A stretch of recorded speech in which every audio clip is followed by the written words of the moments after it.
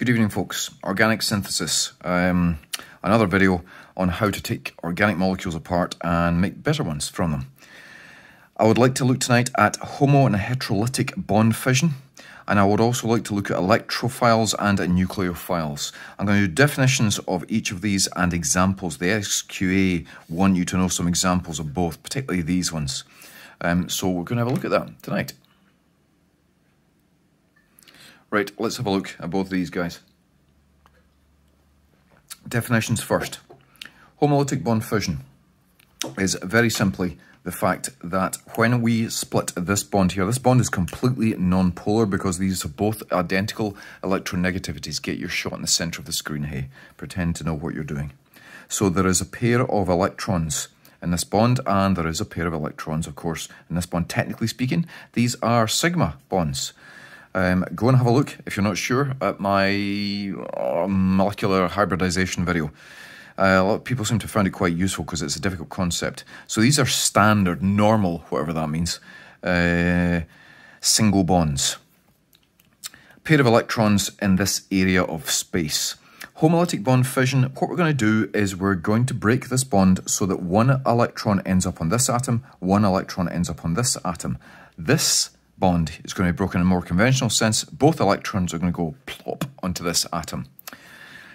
Let me show you how we depict that. Uh, let's do this one first, because this is possibly slightly easier to go with. Chlorine has a higher electronegativity than carbon, by the way, which is why the, the electrons end up on the chlorine. So we're going to take, we're going to show by an arrow. The arrow starts where the electrons currently are, and the curly arrow, as it's called, is going to go to where the electrons are going to end up.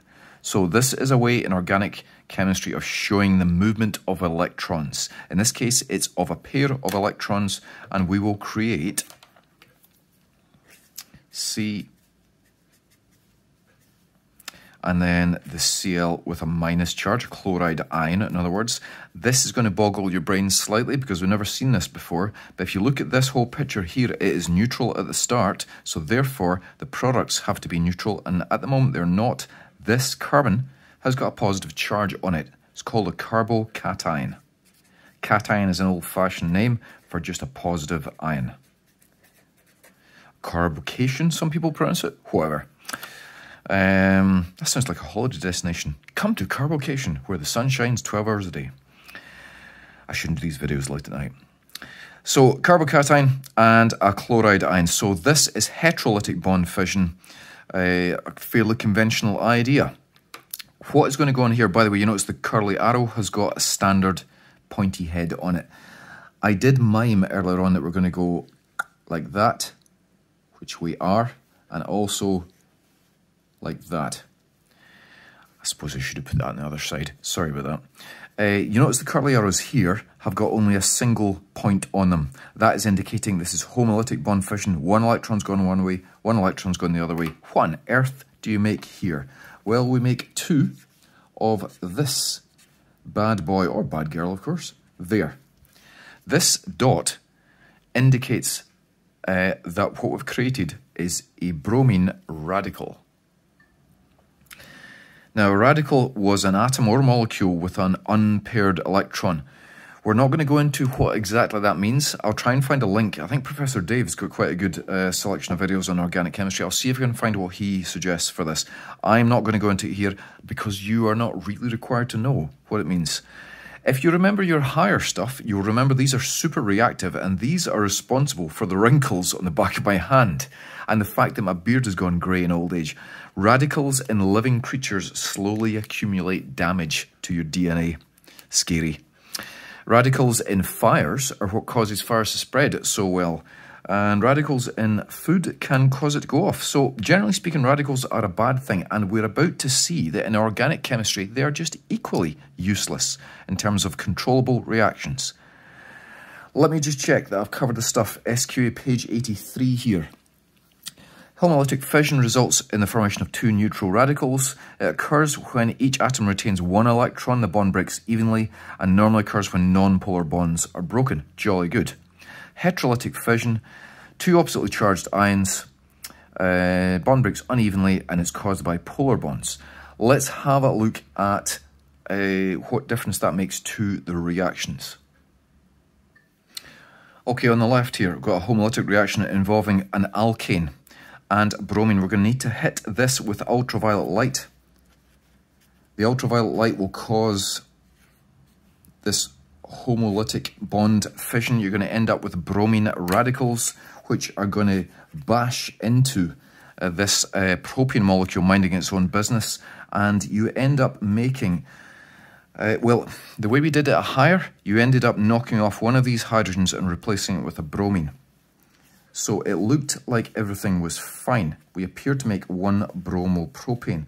In reality, because, oh dearie me, sorry. In reality, because uh, these are chaotic in their reactions, what you can end up is making multiple substitutions on the same molecule. And you end up with a soup of products. You end up with singly substituted, di-substituted, tri-substituted, you end up with other weird things. Like you end up making, if you remember, one of the termination reactions was to join two of these radicals together. So you end up making little scattered molecules of hexane in amongst all the, uh, your other products. Homolytic reactions are a bad thing, generally speaking, in organic chemistry. How do you recognize them um, in SQA questions? Well, it's pretty much the only way of plucking off a hydrogen from an alkyl group and replacing it with a halogen. You can't normally do that. Whereas, if you have a polarized bond, like this, sorry about that, um, if you have a nice polarized bond carbon-chlorine, you can ease, relatively easily break this. So we'll do our pair of electrons popping onto there. Uh, and we have something else incoming, oh, say like a hydroxide ion. This will then come in. So let's stick with the same notation, by the way.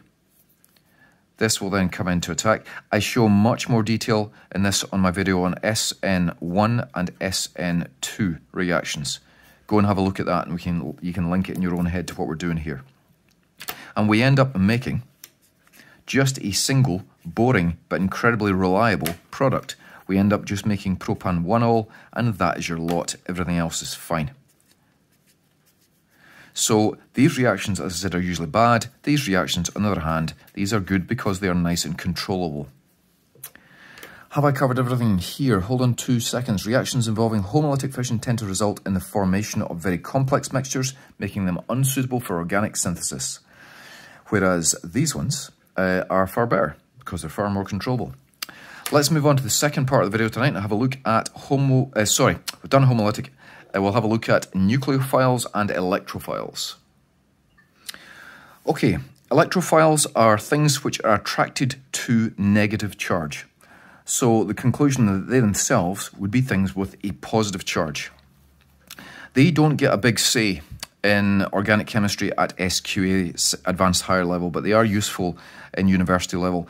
So the good news is we'll do them first because they're quicker. Basically, they are things which have a positive charge um, or neutral molecules which are electron deficient. That's the phrase the SQA uses. So what I'm going to do is not go into that much more. I'm just going to say examples are a hydrogen ion, which of course, if you've seen my uh, physical chemistry ones, we know doesn't actually exist. A better way to represent it is that, the hydronium ion. You can also have one of my favourites because it's used to make explosives. Can I make? Can I say explosives in videos online, or uh, will I be put on a government watch list? Sorry, will I be updated on my current current government watch list that I'm already on? And another one is SO3, sulfur trioxide. These these two will tend to appear. Oh, interestingly, there's one that's not mentioned in this list here, but they expect you to know about it, which is a chlorine with a positive charge. What's going on there? Have a look at my benzene video because these are all involved in substitutions on benzene molecules. So I'll go and have a look at that. And this is involved in acid catalyzed hydration reactions, which is part of my alkene um, additions video. So go and have a look at that as well. He says, publicizing his own work. What a narcissist. Nucleophiles, on the other hand, tend to be things which are negative or they have a non-bonded pair of electrons. Please don't confuse non-bonded with um, unpaired electrons. They are seriously different. Non-bonded pair of electrons are what I joke about in the case of ammonia for my alien head. So it's a pair of electrons which are not involved in a bond. That's non-bonded electrons. Unpaired electrons are what we just talked about with the radicals. They are a seriously different gang. Uh, the ones they mention, they being the SQA, uh, are your classic, any of the halogens basically. So Cl minus or Br minus or F minus. Um, there's also hydroxide, OH minus. There's a new one, uh, CN minus, uh, which I've just finished doing a video on, for nucleophilic substitutions. These nucleophiles tend to be involved in nucleophilic substitutions. By the way, what I just showed you here, this is a nucleophilic substitution. We're substituting chlorine for hydroxyl and the hydroxide ion is a nucleophile because it's negative. Um, so this is the cyanide. Cy, spell it right here. Cyanide. Is that right? No, it's not. Silly old fool. Cyanide, ion. Any other ones? Oh yeah, what I've just mentioned, ammonia, of course. These are neutral ones. H2O, water, of course, has got two non-bonded pairs of electrons. So it's definitely a nucleophile.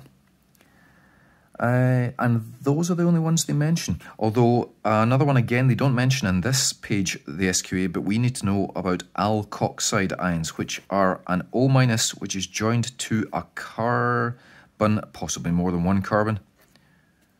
So I mentioned these in my ethers video. So these are alkoxide ions.